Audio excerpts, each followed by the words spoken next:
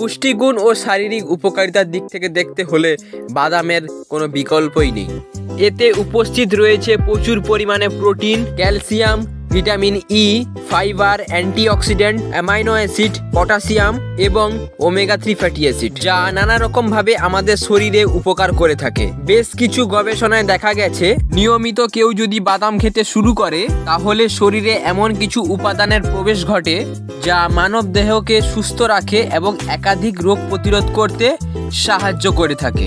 তাই আজকে আমরা এই ভিডিওতে জানব, নিয়মিত বাদাম খাবার উপকারিতা কি? এছাড়াও জানব আপনি কোন ধরনের বাদাম খেতে পারেন। আর কতটুকু পরিমাণে বাদাম আমাদের খাওয়া উচিত? এই সব কিছু জানতে ভিডিওটি শেষ পর্যন্ত দেখতে থাকুন। তাই আর দেরি না করে শুরু করা যাক। নিয়মিত বাদাম খাবার অনেক উপকারিতা রয়েছে, যেমন হাড়ের ক্ষমতা বৃদ্ধি করে। কিছু গবেষণায় দেখা গিয়েছে যে বাদামে উপস্থিত থাকা ফসফরাস শরীরে প্রবেশ করার পর এমন কিছু কাজ করে যার প্রভাবে হাড়ের ক্ষমতা বৃদ্ধি পেতে শুরু করে। তাই প্রতি নিয়মিত বাদাম খাওয়ার অভ্যেস তৈরি করলে হঠাৎ করে হাড়ের সমস্যায় আক্রান্ত হবেন না। আপনি চাইলে কাঠবাদাম কাজু বাদাম ও পেস্তা বাদাম খেতে পারেন। তাহলে অস্টিওপরিসিস ও ক্যালসিয়ামের ঘনত্ব কমে যাওয়ার মতো রোগ আপনার ধারে পাশে সহজে ঘেঁচতে পারবে না। রক্তচাপ নিয়ন্ত্রণ করে।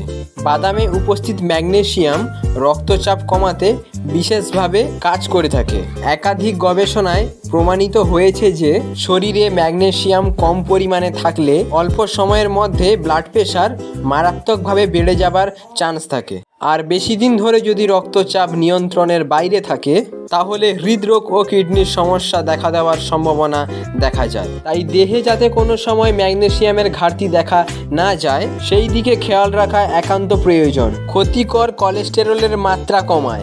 গত কয়েক দশকের পরিসংখ্যা ঘাটলে দেখতে পাবেন কীভাবে অনিয়ন্ত্রিত কোলেস্টেরলের বৃদ্ধির কারণে হৃদরোগের আক্রান্তের হার বেড়ে গেছে। তাই এই বিষয়ে সাবধান হওয়া খুবই প্রয়োজনীয়। শরীরে যাতে কোনো রকম খারাপ কোলেস্টেরল এলডিএল এর মাত্রা বৃদ্ধি না পায় তাই প্রতিদিনের ডায়েটে কাঠবাদাম চিনে বাদাম ও কাজু বাদাম রাখুন। তাহলে আপনার হৃদযন্ত্রকে নিয়ে আর চিন্তা করতে হবে না।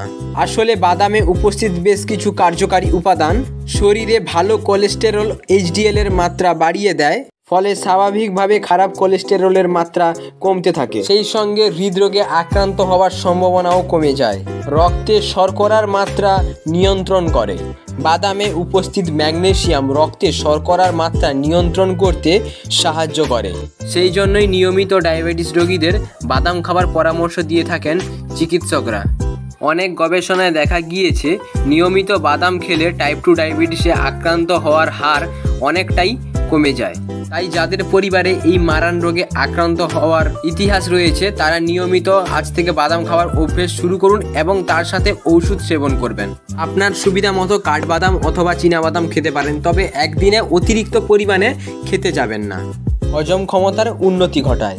বেশ কিছু গবেষণায় দেখা গিয়েছে, জলে ভেজানো কাজু বাদাম খেলে দেহের ভেতরে বেশ কিছু এনজাইমের ক্ষরণ বেড়ে যায়। যার প্রভাবে হজম ক্ষমতার উন্নতি ঘটতে শুরু করে, সেই সঙ্গে গ্যাস অম্বলের সমস্যা কমে যায়। তাই নিয়মিতভাবে আপনার ডায়েটে বাদাম রাখতে পারেন। রোগ প্রতিরোধ ক্ষমতার উন্নতি ঘটায়। বাদাম হলো এমন একটি উপাদান যা ক্যান্সারের মতো রোগকে প্রতিরোধ করার পাশাপাশি রোগ প্রতিরোধ ক্ষমতা উন্নতি করার মধ্য দিয়ে যে কোনো সংক্রমণকে দূরে রাখতে বিশেষ ভূমিকা পালন করে থাকে। তবে এইখানেই শেষ নয়, বাদামে প্রচুর পরিমাণে অ্যান্টিঅক্সিডেন্ট পাওয়া যায়, যা আপনার ত্বক ও শরীরে বয়সের ছাপ কমাতে সাহায্য করে থাকে। পুষ্টির ঘাটতি দূর করে। প্রাকৃতিক এই উপাদানটির মধ্যে রয়েছে fibre, protein, vitamin E, manganese, phosphorus ও পটাশিয়াম। এইসব উপাদানগুলি শরীরকে সুস্থ রাখতে বিশেষ কাজ করে থাকে। কিছু কিছু ক্ষেত্রে একাধিক রোগকে দূরে রাখতে সাহায্য করে এই উপাদানটি। তাই শরীরে পুষ্টির ঘাটতি দূর করতে আপনার খাদ্য তালিকায় এই উপাদানটি যোগ করতে পারেন। ওজন নিয়ন্ত্রণ করে। বাদাম খাবার পরে খিদে একেবারেই কমে যায়, যার ফলে অতিরিক্ত খাওয়ার খাওয়ার প্রবণতা কমে যায়। সেই সঙ্গে অতিরিক্ত শরীরে ক্যালোরি জমে ওজন বৃদ্ধির সম্ভাবনা কমে। তাই ওজন কমাতে চাইলে আপনার খাদ্য তালিকায় বাদাম অবশ্যই রাখুন।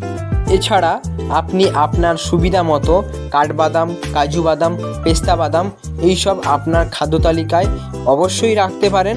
তবে বেশি পরিমাণে বাদাম খেতে যাবেন না। এছাড়াও বাদামের আরও অনেক উপকারিতা রয়েছে। তবে এবার আমরা জানব অতিরিক্ত পরিমাণে বাদাম খেলে আপনার কি কি ক্ষতি হতে পারে। বাদাম খাওয়া স্বাস্থ্যের পক্ষে ভালো, তবে তা বেশি পরিমাণে খেলে তা শরীরের পক্ষে ক্ষতিকর। যেমন আপনি বাদাম বেশি পরিমাণে খেলে মোটা হয়ে যেতে পারেন। কাঠবাদাম ওজন কমায়, তবে সেটি বেশি পরিমাণে খাওয়া অভ্যেস তৈরি করলে ওজন বাড়তে শুরু করে। এছাড়া কাজু বাদাম, পেস্তা বাদাম, এগুলো সঠিক পরিমাণে না খেলে ওজন বাড়তে শুরু করে। আবার বেশি পরিমাণে কাজু বাদাম খেয়ে ফেললে গ্যাস্ট্রিকের সমস্যা হতে পারে। তাই সঠিক মাত্রায় বাদাম খাওয়া প্রয়োজন। এখন প্রশ্ন হলো, বাদাম বলতে আপনি ঠিক কোন বাদামটিকে বুঝবেন বা কোন বাদাম খাবেন? বাদাম অনেক রকমেরই হয়, তবে এই ভিডিওতে বাদাম বলতে চার প্রকার বাদামের কথাই বলা হয়েছে। কাঠবাদাম, কাজু বাদাম, চীনা বাদাম ও পেস্তা বাদাম। আপনি আপনার সুবিধা মতো যে কোনো বাদাম খেতে পারেন। আপনি চাইলে প্রতিদিন তিন থেকে চারটি করে কাজু বাদাম, পেস্তা বাদাম ও চীনা বাদাম খেতে পারেন। তাহলে আজ এইখানেই শেষ করা যাক। ভিডিওটি ভালো লাগলে লাইক করবেন, শেয়ার করবেন, কমেন্টস করবেন এবং সাবস্ক্রাইব করে পাশে থাকবেন। দেখা হচ্ছে পরের ভিডিওতে। Take care.